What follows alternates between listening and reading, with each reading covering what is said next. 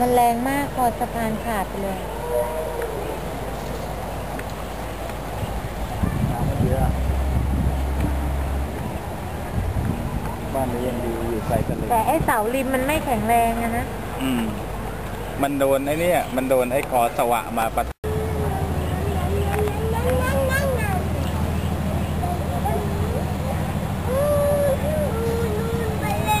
ทายซิต้นนี้เราจะไปตรงไหน ต้องไปค้างอยู่ตรงสะพามันนก็ค้างอยู่งั้นแหละไปไหนไม่ได้หรอกจะเว้นจะไปออกรูนู้นแต่มันไปไม่ได้หรอกมันขวางคลอง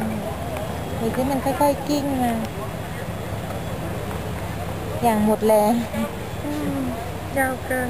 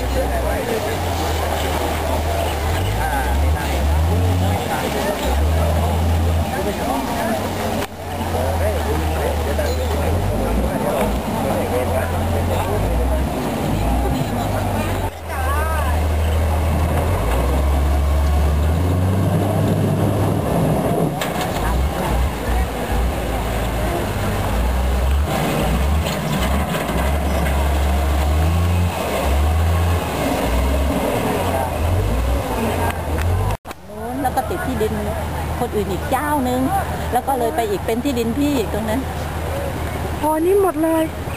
เป็นคลองหมดแล้วจ้ะตายแล้วมันหมายกลางบ้านลอยมาไม้มันไปติดป่าป่าเทียมมันกลายตีร้อยก็ร้อยมันคือมันไปติดป่าตกไอ้แต่ไอ้เทียมที่ตอนใหญ่ๆเป็นนี่ลมเป็นเยอะมันกันเกือบหมดกันลมค่ะ